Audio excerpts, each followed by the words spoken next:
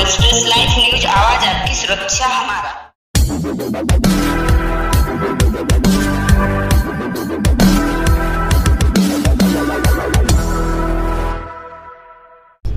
नमस्कार Madhopur express live news में आप सभी का स्वागत है। जलाराम बापा दो सौ बाईसवीं जयंती धूमधाम से मनाया गया।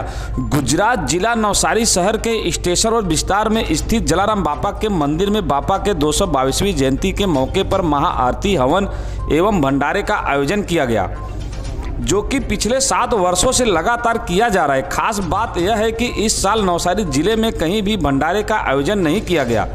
जिला पुलिस के परमिशन पर सिर्फ़ स्टेशन विस्तार में आयोजक श्री धनसुख भाई पटेल के सानिध्य में संपन्न किया गया।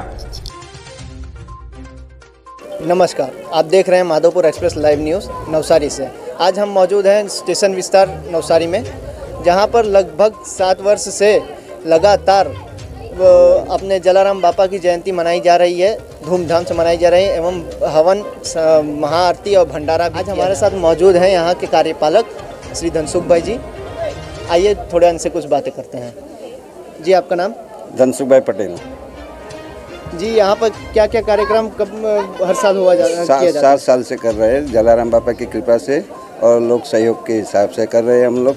सात साल से साल सातवां साल मंगल प्रवेश से और सबका सहयोग मिल रहा है और भंडारा भी हो रहा है हवन कार्यक्रम भी होता है यहाँ सब कुछ होता है। नवसारी में इस साल वो कोरोना के हिसाब से अमुक जगह पर नहीं है, फिर भी हम लोग ने सब सरकारी ऑफिसरों से मिल के बोले, बोल दिया कि हम लोग भंडारा कर रहे हैं, इतना आदमी है, कम आदमी है, पर इस साल हमको लगता है कि आदमी ज़्यादा है तो भी हम लोग पहुँच लेंगे पापा की कृपा से। और मेरा रहने का यहाँ मानिकलाल रोड, वार्ड नंबर त्रण में रहता हूँ धनसुख भाई Patel.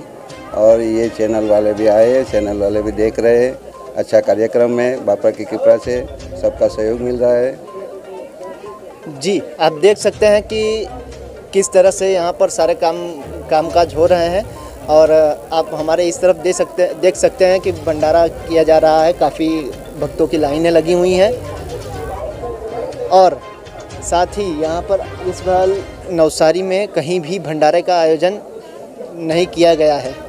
Madhopur express live news से खास रिपोर्ट रोहन शुक्ला। देख माधोपुर एक्सप्रेस लाइव न्यूज़ आवाज़ आपकी सुरक्षा हमारा।